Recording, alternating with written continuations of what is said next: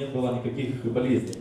Но если они у вас уже появились, мы их не можем просто вылечить. Они просто делают стоп-эффект, эти листья, просто, эти листья могут просто уже погибнуть. Мы ну, операцию не сделаем, там никакой фунгицид на, этом, э, на этой болезни. Рост регуляция. Понятно, с осени зачем мы делаем. Все ее делают, кто выращивает интенсивные как бы рапсы. По иридии как бы немножко рассказал. Болезни мы все эти хорошо знаем, кто занимается как бы рапсом.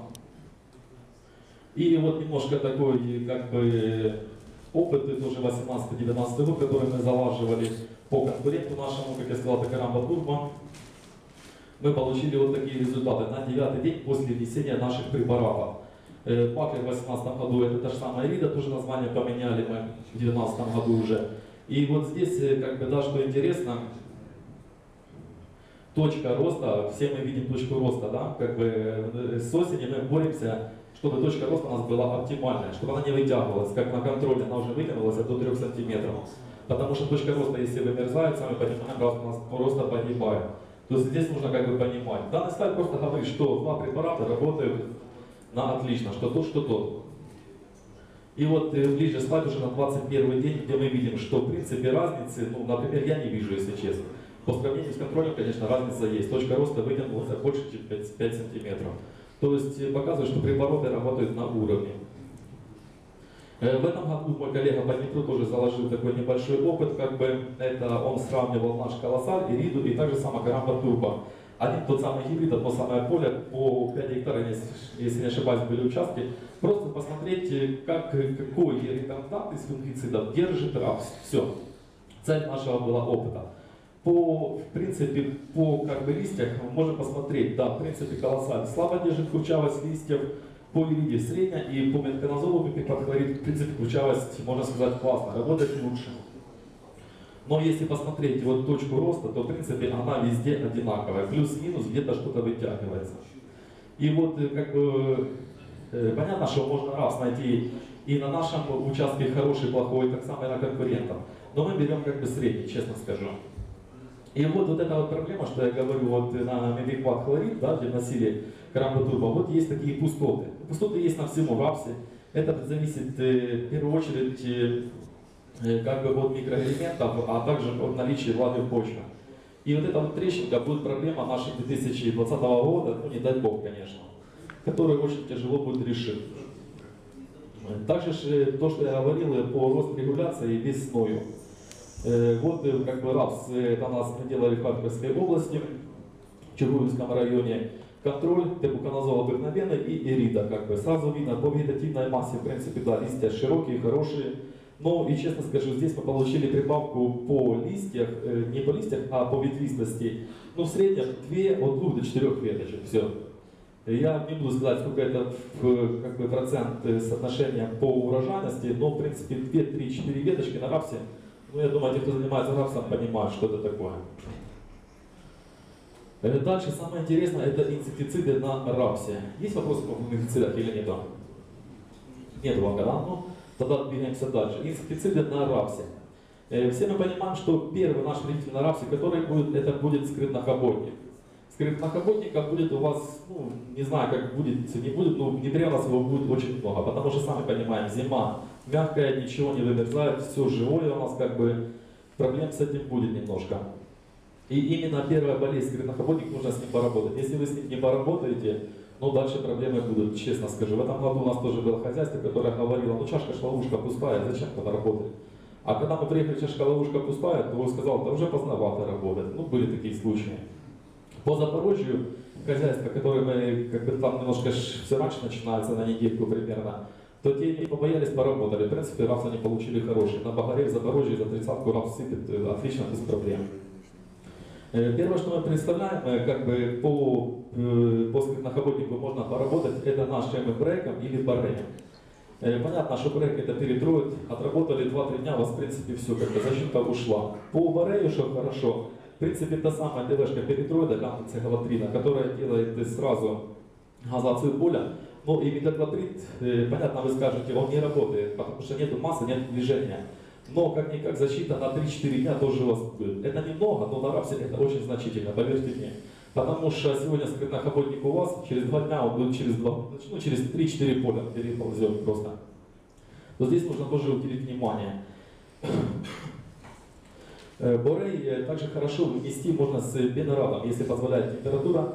И если температура, конечно, ну тоже нужно смотреть вот специфики вашего хозяйства. То есть если там будет плюс 10, днем плюс 12, понятно, что не в январе носить, а в начале марта, ну, допустим, в конце марта, то уже нужно работать не ждать, потому что скрытнокоботник не дремлет. И это будет очень хорошо видно потом где-то в середине мая, после цветения, когда вы, листья у вас опадают, а под листьем у вас 3-4 прокола, это как минимум будет на каждом рамсе. То есть проблема будет. Но э, дальше, которые принципная защита, нужно тоже продолжать. Это мы здесь предлагаем обратно же Борей или Борей Нео. Борей Нео рабочий на рамсе это 0,3-0,4. Меньше 0,3 давать нельзя. Почему? Потому что, э, ну честно скажу, рапс, вы сами понимаете, он быстро растает массу, как бы, да, и тяжело в этой массе держать действующее вещество. Э, разница по Борей и Борейнео. Первое, это три, э, двухкомпонентный и трехкомпонентный. В Борейнео добавили платинидит. Сразу мы добавили, честно скажу, примерно ну, 4-5 дней защиты. По Борею, если вы вносите 100-140 грамм, и у вас, когда вы вносите, нету порога вредоносности, есть там букашки просто ползают, да, то это 14 дней защита 100% будет. По Борейнео это 21 день. Но сразу говорю, если вы работаете так, э, ну как бы есть такие хозяйства, да, допустим, особенно мелкие хозяйства, да там нет ничего, зачем туда вносить? Появится, потом внесу. Но потом уже, ребята, 20 дней вам уже никто даст защиты. Это просто будет, как бы, ну знаете, сработало, не сработало, честно скажу. Рапс любит систематичность, когда вы работаете с ним от А до Я.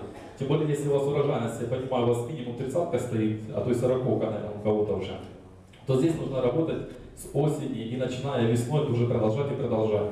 А особенно тоже хорошо поработать, вот, допустим, по РНЕО, да, мы работаем перед цветением. Но тоже это вы все площади накрытия, у кого тысячи гектар. Э, в чем хорошо? Потому что во время перед цветением у нас какой вредитель начинается? Э, цветоед, который тоже нужно с ним поработать хорошо. Потому что если цветоед появляется уже во время цветения, там середина, конец, то в принципе он еще полезный у нас получается. Но если появился в начале, это, конечно, очень жестоко будет. То здесь лучше поработать, 20 дней защита есть, но раз мы понимаем, что он цветет месяц. Защиты, сразу скажу, не хватит. Здесь нужно будет отобрать уже инсектициды, которые можно работать по цветению, которое не бьет пчелу. Но таких фунгицидов тоже нету, тоже говорю сразу, кто занимается рапсом, работайте ночью, если позволяет это все дело, работать ночью. Но не барейные по цветению ночью, а такие как виская, маврик и так далее, которые разрешены работать по цветению, которые не вредят пчелам. Э, также по рапсу, что еще можно сказать, как бы, ну, понятно, Борейнео хороший, как бы проблем нету. Все вы ставите чашки ловушки как бы для начала. В принципе, проблем по рапсу не должно быть. Есть какие-то вопросы еще по рапсу или нет? Моль в этом году будет много. Моль, она у вас и будет постоянно уже, потому что рапс у вас наращивается. Будет очень много. Во второй половине лета идет нарастание численности. Да, смотрите, мы, будет наоборот. Не будет породов, будет. Но она сейчас вся живая под листьями, она вся есть, да, рапса у вас тоже много. Смотрите, я вам так скажу, у нас в Донецке, да, С- в Славянске заложен тоже опыт небольшой, когда на 30 гектарах, но у нас капустной моли там до сих пор нету. Потому что мы, честно скажу, мы заставили ребят э, работать систематически. 3-4 листа мы внесли барение 0,4, и через примерно 15-20 дней мы еще внесли 250 грамм. В принципе, мы эту проблему прошли, потому что, ну, я же говорю, если работать систематически, проблем у вас не будет никаких. Если у вас капустная моль начала летать, можно внести, да, белты, каравины, но они вас спасут на неделю, дальше у вас все пойдет отрождаться, потому что капустная моль, вы сами понимаете, она откладывает свои коконы под листками, они все находятся в паутине, ее очень тяжело пробить. Пока вы внесли белт, проходит 2-3 дня, ну, действие немножко падает, оно вылупилось и все. А когда у вас действующее вещество есть в листу, оно вылупилось, немножко скушало, эффект будет, даю гарантию. Но тоже работать на опережение, не тогда, когда у вас появ- появилось. Если их много, они немножко Не, ну понятно, что дело, что скушает. Ну, как говорят на стадии уже по Днепру тоже говорят, а зачем тебе листья в зиму? Ну, как бы тоже, знаете, так жестоко, но а сколько там ее наплодится потом за эту осень и за зиму тоже как раз. Но проблема будет, для этого нужно будет поработать, конечно. Еще есть вопросы по Раусу? Ну, пока вопросов нет, это хорошо, как бы придет весна, потом вопросов будет. Если нужно, к Игорю обращайтесь, он приедет в любое время к вам по Раусах. По подсолнечнику немножко так расскажу, время уже поджимает. Э, э, Э, По подсолнечнику, смотрите, в принципе, защита у нас по подсолнечнику, скажу так, стопроцентно. Это первое, протравители, табу, табу нео, табу супер у нас последний год продается, остатки фипронил, потому что очень дорогой препарат, но очень классный, качественный, ну реально дороговато, честно скажу. Самое распространенное это табу неос, который имеет клотианидин. Все, проблем у вас не будет до второй пары листьев. Дальше, соответственно, никакой инсектицид вам держать ничего не будет. ТНТД тиран, ну, в принципе, никто сейчас ничего не травит, как бы семена тоже понимаем, все покупают импорт. То есть, ну, протравка есть протравка. По гербицидах, э, торнадо 500 540 как бы кто носит, в принципе, понятно, глифосаты. И в этом году мы предлагаем комбинацию такую, как наши коллеги из Белоруссии работают, и мы уже так немножко пробовали по западной, в принципе, она рабочая, классная. Это замена ацетохлора эсметалохлора, немножко как бы помягче, даже сильно мягкий, можно так сказать, вместе с дероксом, прометрин, то есть эсметалохлор плюс прометрин. Рабочая дозировка полтора литра симпы плюс 2 литра прометрина. Работает отлично. А по амброзии сколько? По амброзии, смотрите, прометрина в принципе 2 литра хватает, но в зависимости от количества вашей амброзии на поле. Если вы понимаете, что поле среднее, как бы, ну, можно сказать, 2 литра хватит с головой. Если у вас там супер амброзии, ну увеличивайте до 2,5 до 3 максимум. Если вы работаете в комбинации с симпой. Потому что мы понимаем, что эсметалхлор это как бы эксперт по злаках, а прометрин это двудолго. У вас была проблема, это какая сейчас везде бич, это амброзия. Если есть амброзия, то дальше уже тяжеловато поработать. Пигменталин, да, есть вещество, но здесь как бы немножко кусается по деньгах, 3-6 литров на гектар нужно носить. Но в принципе тоже как бы неплохой препарат, тоже откатанный он. И та же самая мелонга у нас есть, это эсметалохлор плюс терботилазин. Дозировка по подсолнечнику стоит у нас одна, 4,5 литра. В принципе, препарат, э, аналог примакстерпезового, кто работает, хороший, мягкий, на подсолнечник работает отлично. Э, Также ж в этом году у нас э, мы в Чугуевском районе в Харькове отработали мелонгой. Небольшой такой опыт есть, как бы ну, поработали неплохо. Э, Внесение было 11.05, то есть понимаем, середина мая, можно сказать, температура оптимальная, влаги в почве было предостаточно. Делалось сразу после дождя, уже подсолнечник был посеян, то есть барнование здесь уже не проводилось. И вот что мы имели. Сделали отключение мы полкрыла, и вот получили мы такой как бы небольшой результат по полю. В принципе, на десятый день картина уже ясна. После внесения уже первая пара э, листьев полезла по подсолнечнику. Видим контроль, который не обрабатывался насыщенностью стальниками. И то, что мы видим уже через три недели, на 23 день. В принципе, результат, я думаю, ну, сам за себя как бы говорит. Это поле на трассе, может даже кто и видел, когда ехал на Харьков со Славянском. Вот то, что мы видим на 45 день, фото с квадрокоптера, как бы, ну, есть такая вот проблема по полю. В принципе, понимаем, что здесь, на этом данном участке не носился гербицид, ну, как бы результата можно уже не ждать, честно скажу. Вот так выглядит на 65-й день, когда уже идет активное цветение, то здесь ну, нет цвести. Хотя после внесения гербицида не было ни одного дождя до момента уборки. Был в момент налива небольшой дождь 17 мм. Ну на такую землю 17 мм, честно скажу, ну как бы ни о чем. Э, Далее. Э, Также же у нас есть линейка как бы хорошая по имя устойчивому подсолнечнику. Это наш комплект Grade Pro или можно носить чистый парадокс Мазамокс. Комплект Pro рассчитан на 14-16 гектар. В принципе, я думаю, кто работал, тот в принципе остался довольный. Проблем нету никаких. 14-16 гектар равняется как по евролатинным продуктам. Это литр, литр 200. Все, как математика здесь небольшая. Одна проблема по комплекту Grade Pro все три канистры у нас отдельно. И Мазапир отдельно, и Базамокс отдельно, и Дювант отдельно. То есть здесь можно уже как бы грейдеры, э, грейдеры действующее вещество и Мазапир, можно его просто отделить, убрать на свои нужды по складам, по территории протравить. Так, в принципе, препарат отличный, ничем как бы не отличается по-другому.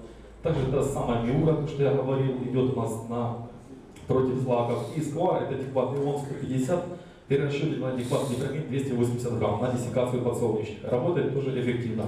От 2 литров до 3. Ну, 2 литра, говорю сразу, работает отлично, без проблем. И мазамок как это волчка? Против очка, смотрите, будет работать, в принципе, как бы, ну, тоже смотреть нужно по насыщенности его. Если у вас очень много, то лучше не играть с этим мазамоксом, а именно изомапир тоже носить.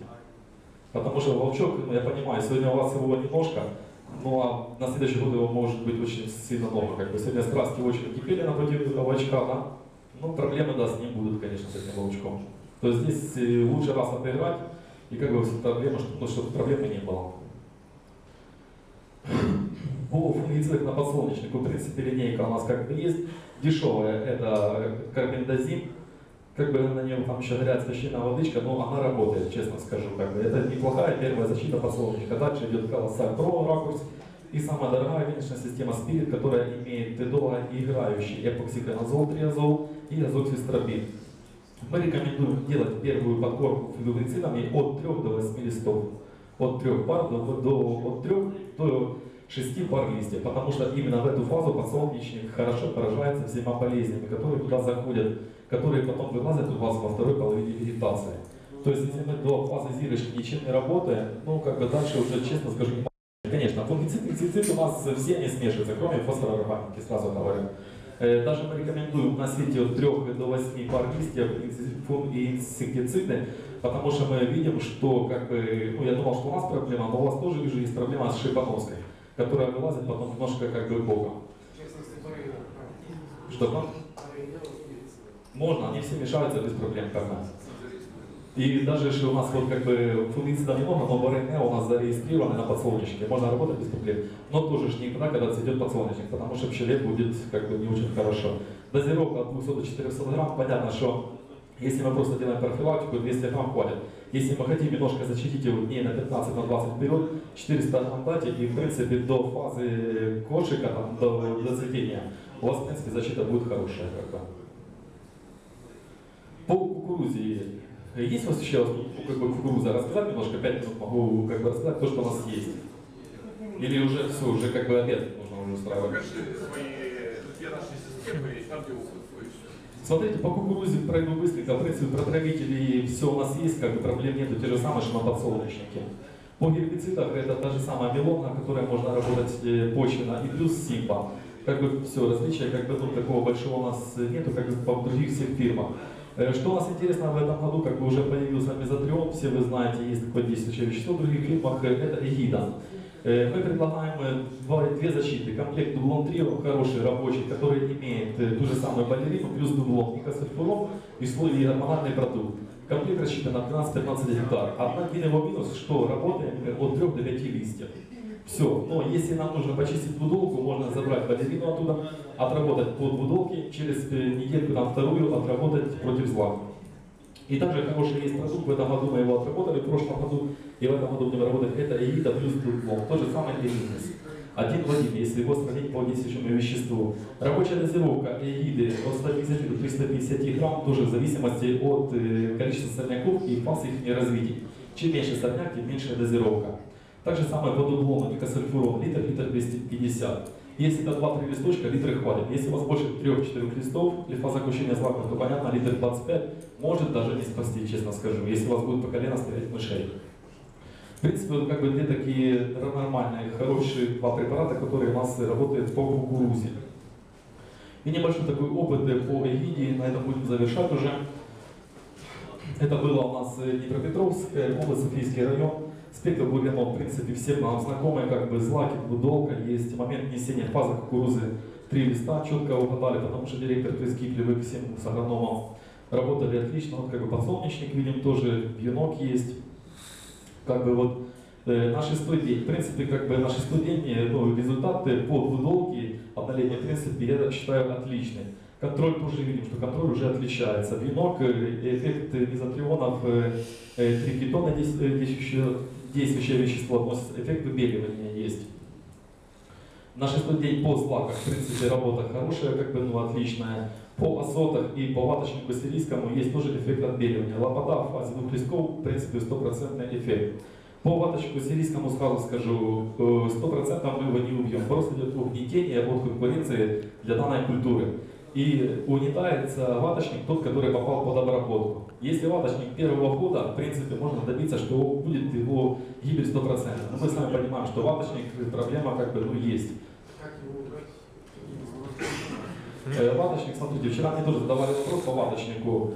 Э, Механическим путем, говорят, можно 3-4 года его убивать, но вы еще больше его расплодите, потому что с одного пагана у вас появится два пагана. Механически, честно скажу, не подходит. Нужно носить глифосаты до 10 литров с прилипателями на протяжении 2-3 года. Тогда что-то можно добиться. Просто такого гербицида, который вам почистит ваточник в культурных растениях, ну пока его у нас еще нету, честно скажу. Э, За раз не уберете, но нужно носить его, когда он начинает прорастать, 10 литров в чистом виде, лучше носить на листья. Тогда можно какой-то эффект добавить. И то будет эффект, говорю, ну это нужно повторять на протяжении 3-4 года минимум. Потому что за один год ваточник вы никогда не уберете. Есть другой метод, у нас по нефту тоже был, э, носили евролатер. Тень идет, как бы, но тоже есть отрастание на следующий год. То есть проблема по нем будет. И за это проблема будет у нас и в дальнейшем идти.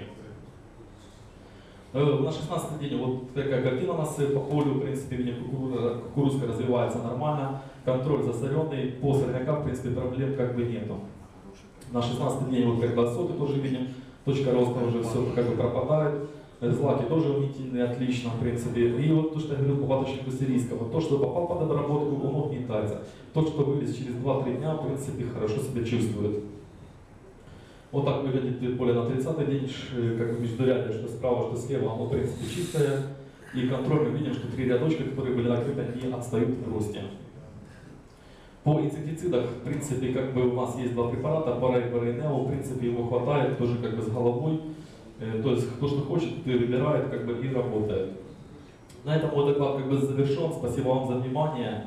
И как бы хороших вам урожаев и хорошей цены на эти урожаи. Спасибо большое за что в данном формате. Вот, э, хорошего сезона, хороших урожаев. Будем заслуживать ваше доверие. Приглашайте ваши хозяйства на, на ваши поля. Отдельно хочу сказать спасибо нашим партнерам, компании Евралис и компании Коридор. Всего наилучшего.